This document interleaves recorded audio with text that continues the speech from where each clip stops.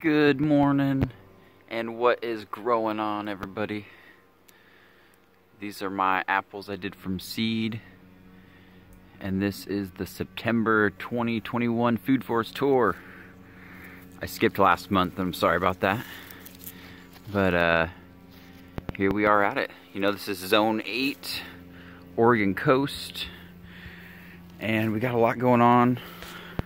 Very, very dry dry, dry year. It's only rained a couple times this season and a lot of my plants have not done great, unfortunately. Wanted to show you guys this real quick, it's kind of cool. This is a uh, radish, I think the daikon variety, big, big ones.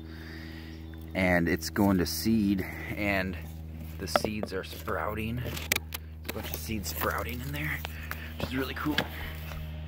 So I've been taking the seed pods which look like this. There's a dry one that's ready, and then there's one that's green that's not quite ready. So the drier ones, I take them, and we can crack them open and see seeds. And I've been putting them in various areas of the food forest. So that's been fun.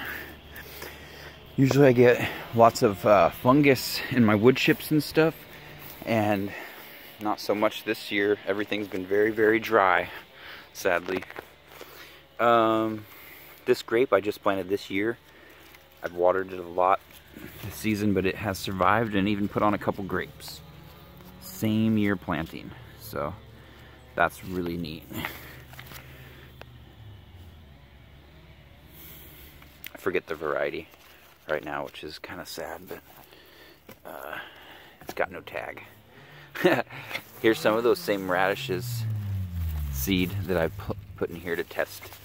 And they're doing awesome. They're probably ready to pull. So I might get at those. Let's get at it real quick, see what's in there. This is a nice little radish. These are supposed to go deep, deep.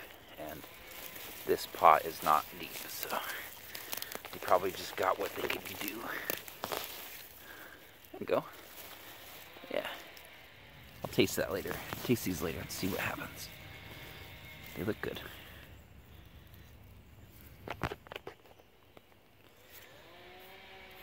And then this is in with uh, some more radish and a walking onion that I've spread. The walking onions uh, get these little bulbs on top instead of seeds and you can plant those bulbs, which is really cool. So the tunnel had to get taken down, the pea tunnel. So many peas, I couldn't even handle them all. Enough to eat and enough for seed just from this little area right here. It's awesome. Peach tree's doing great. It kind of came out of that leaf curl. It really liked. See, it kind of did this and then the stuff will fall off. But everything else is doing good. Gonna prune it soon even had a fruit. This was really cool. So if you want to know what happened here with the cannabis plant, follow my next video. I'll give you a hint. It's all in the soil. Like I already talked about.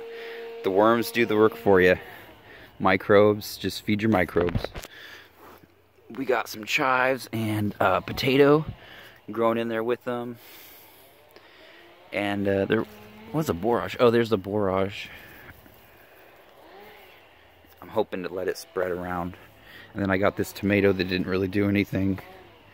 And then these are pruning from last year. So these are scions from last year, and it looks like a lot of them have survived. So I'm gonna dig these up later and get free trees out of those. And that's exactly what this was. So that's a really cool thing. And so I'm gonna be able to graft onto this and also I'll leave a branch of the main so it'll get two different varieties of apples. All right, we got cherry tree over here, plum tree that did awesome. We got a few plums out of it. And then the lemon verbena is taking over the path. And we got a Santa Rosa plum right there. Doing okay. It didn't do great. I mean, you see it does have some issues. So some bugs and or some rust probably. But the newer growth is looking all right. And it's about to drop leaves anyways and start over fresh next year. Here's a good example I want to show you guys of the difference between in the soil or in the ground and healthy soil that I've made. So I've wood chipped this area for a few years now and this um, purple tree collard is just doing very, very well. Excellent.